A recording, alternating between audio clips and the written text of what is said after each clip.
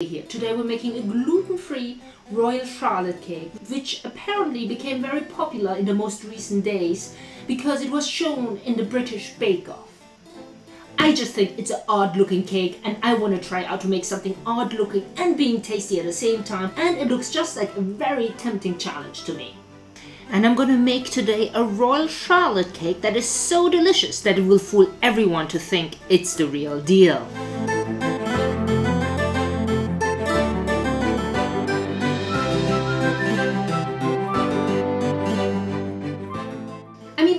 Dumbfounded about the idea of giving a cake a person's name. I mean, I talked about it in the Charlotte cake. This one though takes it to a complete different level. Just think about would you mind, could I have please a slice of Royal Charlotte? And he would like to have please a slice of Royal Andrews. And yeah, a cup of tea would be nice with it as well.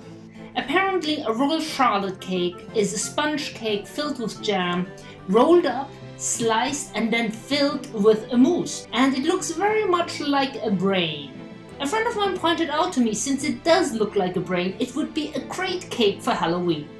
Hmm, it is a complicated cake, it will take you a little bit of time, so plan ahead for it.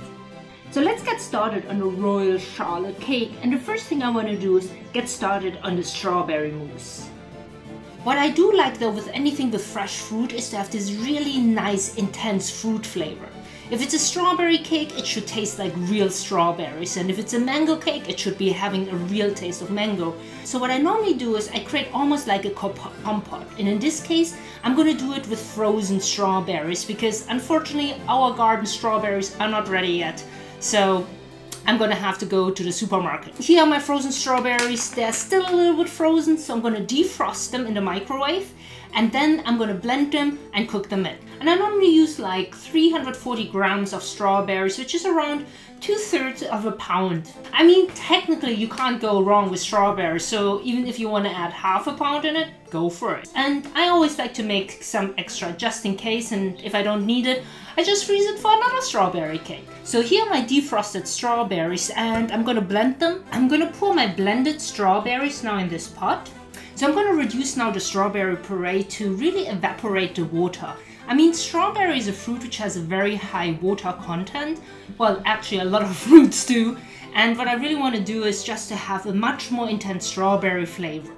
So my sponge cake is done.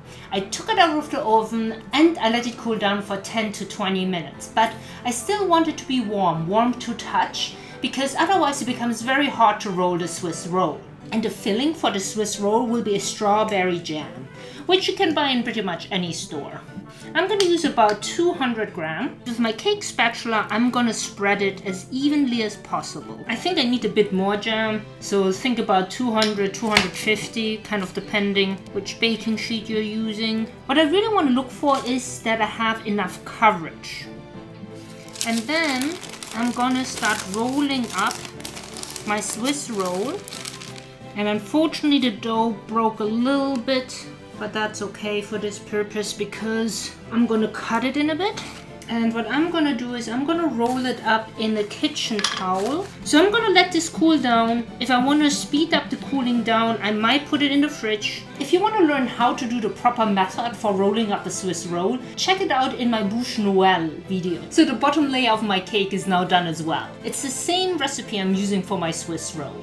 So in the total, it's about one and a half of my vanilla sponge cake recipe. It could probably be one because the Swiss roll was a little bit too thick, which made it much harder to roll. I'm going to release the cake. For that, I'm going to use my cake spatula, quick run it around the sides of my cake pan and flip it over. And here's my bottom layer for the Charlotte cream cake. And I'm going to let the bottom layer cool down as well. Here's the reduced strawberry puree. It took about 30 minutes or so and I let it cool down. If you want to intensify the flavor of the strawberries even more so, what you can do is add a little bit of balsamic vinegar. I'm not going to taste now the strawberry puree because depending how sweet and ripe the strawberries are, you may need more or less balsamic vinegar. That is really a strong, nice strawberry flavor.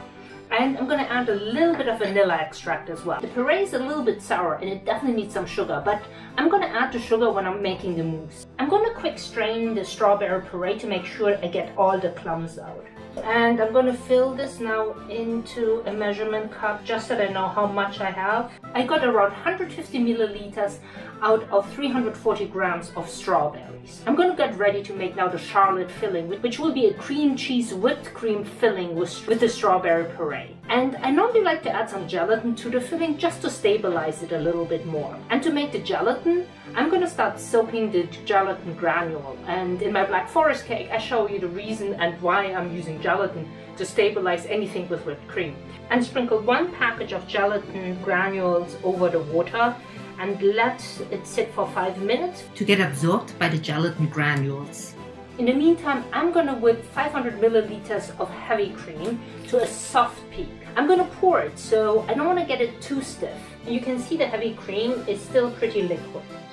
I'm going to transfer my heavy cream to an empty bowl because I need my mixing bowl to whip up my Philadelphia cream cheese and my sugar. I'm going to measure about 250 grams of cream cheese I'm going to measure 300 grams of sugar. And 300 grams is about one and a half cups of sugar. I want to make sure the cream cheese is at room temperature to make it much easier to beat the cream cheese. If it's very cold, it's very hard to combine it with the sugar or it takes a little bit longer. I combined now the sugar with the cream cheese. Now I'm going to add the whipped cream. I'm going to quick combine now the cream cheese, the sugar and the softly peaked heavy cream. And I'm gonna take from that mixture about one cup which I want to use as sort of a chocolate mousse. And now I'm going to add my 150 grams of strawberry. And now I'm going to quickly combine the strawberry to the mousse. Sometimes it's easier to do it by hand actually. That's a really nice strawberry mousse. Okay, so here's the Swiss roll. It should have cooled down enough. So the recipe talks about covering the bowl with the Swiss roll. And they should be cut in about one centimeters or half an inch. And you can see how you can wedge the cake into some of the holes to get close some of the gaps.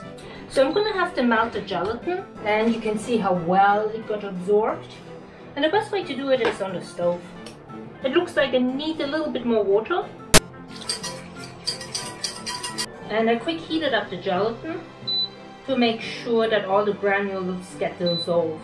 And you can see how smooth the gelatin now is. So I'm gonna set it aside again to let it cool down. And I wanna look now at the heavy cream which I set aside to make sort of a chocolate mousse. And I'm gonna add about one tablespoon of cacao to it.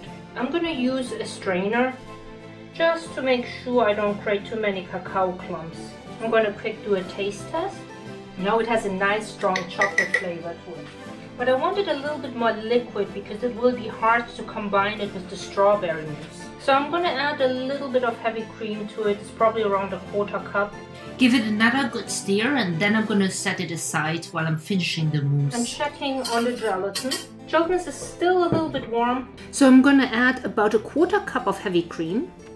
And I'm going to whisk it while I'm doing it to avoid lumps from forming. It's now room temperature. It's very close to the temperature of the mousse, so it's fine that I added to it. And now I'm quick gonna combine it. So I'm gonna add now the strawberry mousse into the cake. And what I want to do is create some chocolate clumps in there. So now I can pour that in and I will carefully mix the chocolate mousse before I'm to cover the cake with my cake bottom. Here's my Royale Charlotte Swiss roll cake.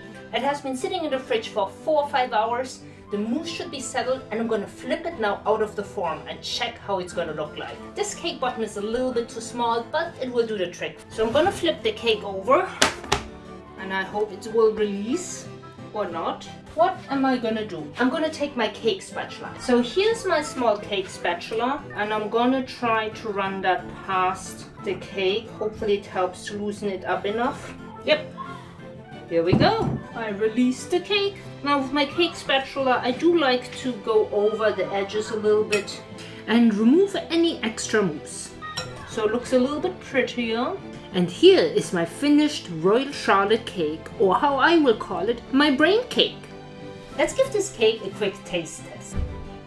Mmm, That's definitely a strawberry cake.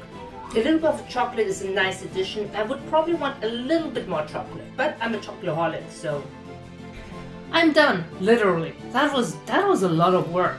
I hope you enjoyed watching how I made this rain cake, and if you'd like to bake along or see how I convert other recipes to be gluten-free, subscribe to my channel and check the bell to get notifications about any upcoming videos. And if you have any comments, thoughts, or other recipes for me to try out, please put them below in the comment box. And I see you next week. Bye!